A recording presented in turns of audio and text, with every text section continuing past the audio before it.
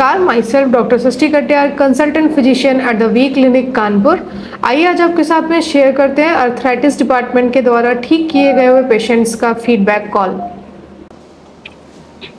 Hello hello जी संदीप जी बात कर रहे हैं? जी मैम जी आपका हमारे यहाँ से अर्थराइटिस का ट्रीटमेंट चल रहा था। अभी कैसी है तबीयत आपकी? जी। जी वही मैं पूछूँ तबीयत कैसी है अभी आपकी? तबीयत ठीक है मैम एक हल्का हल्का मेरे को लग रहा है कि मेरे शरीर हल्का हल्का रिजेक्शन टाइप को लगता है खुजली टाइप बहुत हल्का हल्का बीच बीच में। अच्छा पहले भी होती थी? जी नहीं पहले नहीं होती थी अभी अभी मेरे को एहसास हो रहा है हल्का हल्का अच्छा अच्छा और आपको जो कुछ इन्वेस्टिगेशन सजेस्ट किए गए थे कराने के लिए वो आपने करा लिया है? जी नहीं करा पाया हूँ अच्छा ऐसा सा दिक्कत है अभी ना। अच्छा अच्छा ओके अगर ऐसा है तो आप एक बार सिर्फ़ एक सीबीसी वाला टेस्ट करा दीजिएगा है ना? तो उसमें क्लियर इधर बारिश में तो नहीं भीगे हैं आप? नहीं भीगा तो नहीं भीगने के लिए? अच्छा नहीं क्योंकि कई बार ऐसा होता है ना कि बारिश में अगर भीग जाओ तो उसकी वजह से कुछ दिन तक ईचिंग होती रहती है बॉडी में है ना? उसकी वजह से अदरवाइज़ कोई नहीं। और आप पानी कितना पीते हो दिन भर में?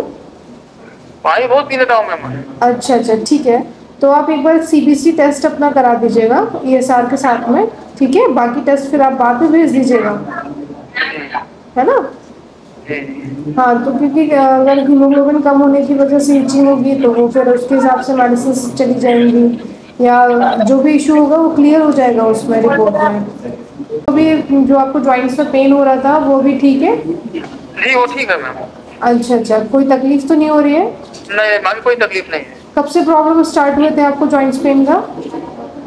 तो तीन साल हो गया था मैम मेरे को। अच्छा अच्छा। Okay okay. चलिए बहुत अच्छी बात है कि अभी आपका ठीक है। है ना? और बाकी कोई भी प्रॉब्लम आती है तो फिर आप कॉल कर लीजिएगा है ना? ठीक है जी ओके अगर आपको भी इसी तरीके की किसी समस्या से जैसे slip disc sciatica cervical rheumatoid arthritis gout या ऑस्टियोआर्थराइटिस जैसी समस्या से सफ़र कर रहे हैं तो आप हमारे वी क्लिनिक के द्वारा दिए गए हुए नंबर पर संपर्क करके अपना ट्रीटमेंट कंटिन्यू करा सकते हैं। धन्यवाद।